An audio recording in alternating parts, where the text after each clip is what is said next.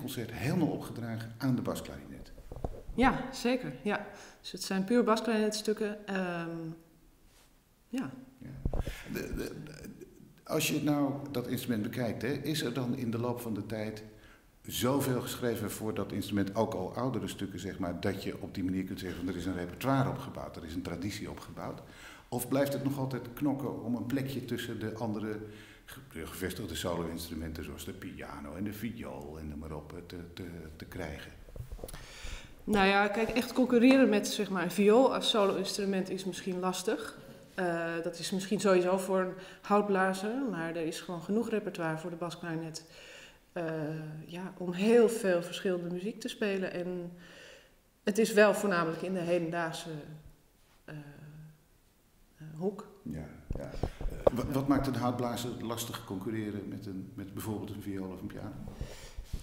Ik weet het niet. Als je een soloconcert hoort, er zijn gewoon ongelooflijk veel goede soloconcerten in de afgelopen eeuwen geschreven voor dan wel viool of piano. En, uh, en er zijn veel meer pianisten en violisten, denk ik, dan houtblazers. Dus dat, ja, dat is het misschien gewoon. Ja. Is het uh, louter de bakklarinet of komt er ook bijvoorbeeld elektronica bij kijken? Vandaag hebben we ook een, uh, er zit een soundtrack bij. die heeft Rosalie gemaakt. Dus dat is elektronisch deel van de compositie. En het wordt wel afgespeeld via een CD. Dat heb ik haar ook gevraagd, omdat ik graag makkelijk de mogelijkheid wil hebben om het overal te spelen. Dus als het live elektronica zou zijn of een ingewikkeld systeem, dan zou het moeilijker zijn om het mee te nemen. Uh, ja, je kunt later ook bedenken om daar wel iets meer ingewikkelds van te maken, maar op dit moment hebben we gekozen voor dit systeem. Ja. Rosalie, je hebt het stuk geschreven. Uh, wil je nog een keer zeggen hoe het heet? En is het het eerste wat je geschreven hebt voor Bas zo? Het heet Article 7 en de subtitel is Seven Ways to Climb a Mountain. En het is het eerste uh, solo-stuk wat ik voor uh, basklarinet heb geschreven. Ik heb wel eerder voor basklarinet in ensemblestukken geschreven, maar uh, ja, het is voor het eerst dat het zo prominent aanwezig is. Ja, maar is het, is het een moeilijk instrument om voor te schrijven?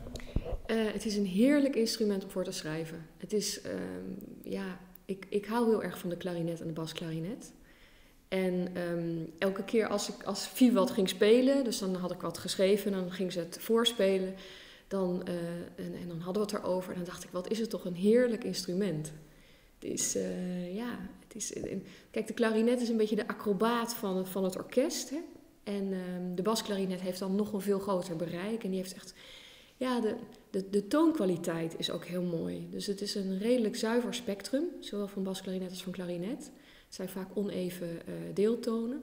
En het mengt heel goed met, uh, met, met heel veel andere instrumenten. Dus zowel met, uh, met strijkers als met koper mengt het. En ik heb dat eigenlijk, dat mengen, heb ik hier ook heel erg gebruikt door, door die, de sinustonen in de soundtrack te gebruiken.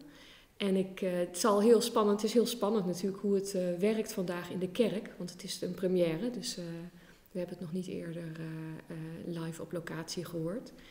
En, maar ik heb, ja, ik heb daar wel een soort, um, ik had daar wel een, soort visioen voor. Dus hoe, die, hoe, hoe dan zeg maar de basklarinet eigenlijk in en uit focust in het, in het totale klankbeeld. En dus zowel heel erg kan mengen met, met elektronica als dus ook... Um, ja, uh, er dan weer uh, bovenuit stijgt. En, uh, en, maar het is, een, het is een mysterieus instrument. Het is, ik, vind het, ik vind het dus juist ook een heel mooi instrument om solo te horen.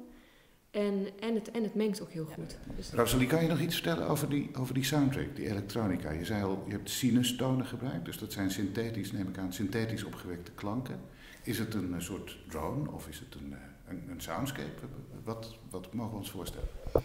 Ja, het stuk, uh, het, het, is opge het stuk is opgebouwd uit waves, uit golven, uit een aantal golven um, die naar beneden en naar boven gaan.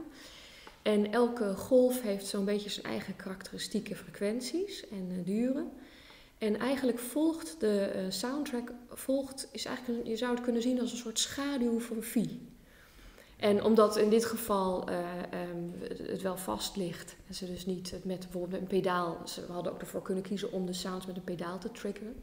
Dan zou er iets, nog iets meer flexibiliteit in zitten. Dat kunnen we ook nog doen later. Maar in, we hebben nu voor gekozen om, uh, dus die soundtrack ligt vast. Dus eigenlijk moet Vie zich nou aan haar schaduw aanpassen. Wat wel interessant is. Mhm. Maar het is eigenlijk, um, eigenlijk zit er nog redelijk veel vrijheid in ook. Dus alles is precies uitgeschreven in de tijd. En de frequenties op de in de soundtrack die kloppen ook in de tijd. Maar je hebt daar toch ook eh, als speler nog wel uh, een soort vrijheid in om, er, um, ja, om in en uit de timing te gaan. Hm. Want er zijn bepaalde, echt bepaalde herkenningspunten die. Uh, die um, dat, ik, voor mij werkt dat ook op een soort magische manier als dan dingen samenvallen. En, maar er zijn ook echt momenten, want er zijn heel veel dus die naar beneden en naar boven gaande bewegingen. Je hoort ook heel veel glissandi in de, in de um, soundtrack. En, soms zijn ze kleiner, van kleinere duur en soms zijn ze van grotere duur. En eigenlijk is de klarinet, die speelt daar, die gaat de hele tijd, merk je, dat um, ja, de klarinet speelt daar eigenlijk tussendoor. En um, soms vallen dus de, valt die glissando dus precies samen met een noot die, uh, die speelt. En soms, um, soms gaat het weer uit elkaar. Dus, en daar kan, ik, ik, ik, ik hoop um, natuurlijk dat het een heel leuk stuk is om te spelen. En dat het ook dat blijft houden. Dus dat je eigenlijk ook ja, die, die vrijheid en het, mom, het moment van het maken, hè, dus van het spelen op, op het moment zelf, dat dat een soort ook iets spannends uh, um, uh, blijft houden. Dus dat je dus niet in een keurslijf zit als muzikant. Werken jullie ook samen in die zin? Dat je bijvoorbeeld, uh, heb je halverwege het proces ook al kennis gemaakt met de noten en een commentaar op kunnen leveren? Ja, nou ja, Rosalie die kwam wel steeds met dingen en dan zei, ik, zei ze van, oh, kan het wel of moet ik het veranderen? En ik probeer dan toch steeds te zeggen van nou ja, niet te snel veranderen en aanpassen om het makkelijker te maken, zeg maar. Want het leuke is wel, als je iets probeert te studeren wat voor je gevoel misschien nog niet kan, misschien kan je later wel. En dan is het toch gelukt. Dus dat is altijd mooi. Dus ik wil niet een stuk hebben die aangepast is om het makkelijker te maken. Dat vind ik niet interessant. Dus dan zei ik van nee, laat maar staan, laat maar staan. Ik probeer het wel een tijd. En misschien komt er een moment dat ik zeg, nou ja, oké, dat is echt niet zo goed mogelijk. Dus laten we toch iets aan doen. Maar dat, dat proberen, dat heeft ook veel kwaliteit, vind ik. Ja, dat is een uitdaging. Ja.